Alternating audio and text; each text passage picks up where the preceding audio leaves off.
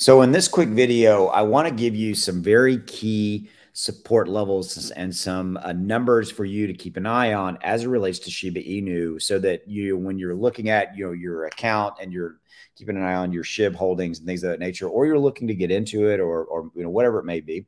Uh, these are some key support levels and resistance levels that you need to be aware of from a technical analysis indicator side. Okay. Real quick video, going to make it for you. Here we go. Let's do this. Okay. So right here, right now, SHIB, as of the recording this video, is trading at this 1098 level down about 4%. It's actually come back a little bit. Uh, it was down a little bit more, down about 6% earlier today. Um, and the overall market is trending in a little bit more in the positive direction. The overall crypto market was uh, down about six and a half percent earlier today as well. Okay, so SHIB, some some key levels that I want you to be aware of. Okay, so right here, right now, if you look at the 24 hour trading range, it's been trading between 1065 and 115. That's the 24 hour range. Okay.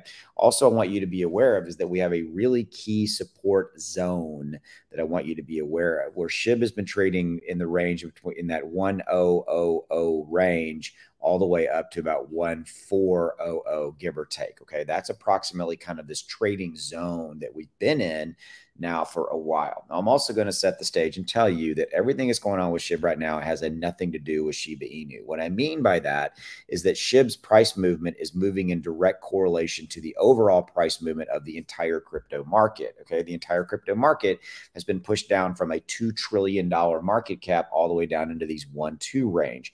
Yeah, in the last uh, in the last 48 hours, we were able to get back up over a one three trillion dollar market cap. We've been pushed back again. The bears are in control. The bulls are just not here yet, right? And we've got a situation playing out where a lot of macroeconomic factors are, are playing out. Uh, we got a lot of fear out there. Again, there's a lot of fear and uncertainty. This is the fear and greed index. We're at a 13, which is extreme fear right now, which which actually makes a lot of sense. Fear of recession.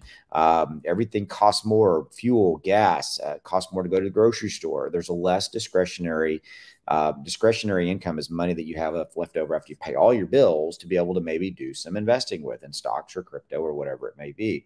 By the way, the stock market has been kind of similarly similarly beat up, if you will. Okay.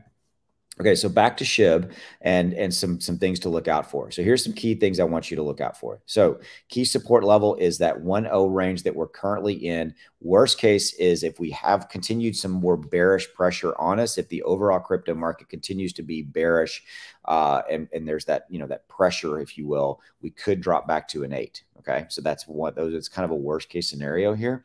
Okay, so that key resistance level. So resistance is above us, right? So remember I mentioned that we've been trading. Shiba Inu has been trading, and I'll show you in the last seven days. Let me show you this real quickly right here. So Shiba Inu, and if you look at the seven day chart, okay, if you look, we've been kind of again, we've been, we've been in this down as low as this kind of one o low low one o level, and then it spiked up to kind of that that one two one three one four. It has spiked up and been just right below that one four level. Okay.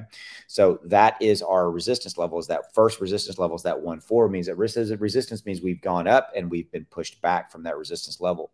So that's the next major one to be aware of price to look out for, right? So look out for that one four range. Hey, can we break through that one four range? If we can, then the next range after that is that one seven range. Okay. So these are your things to keep be aware of your support level. We've been here for a while. We're in that one O to one four support range. Uh, worst case scenario is we've got another support level below us at uh, at an eight level. Basically, give up a zero, go backwards with an eight. Uh, that's kind of worst case support level. And resistance to get through is that one four, and then after that, one to one seven. If we can get through that, if we get back, if we get back and continue to bring back some some bullish momentum in the overall broad market, it will equate to Shiba Inu starting to move up as well. All right, that's what I got for you. Thanks for giving me a few minutes of your day.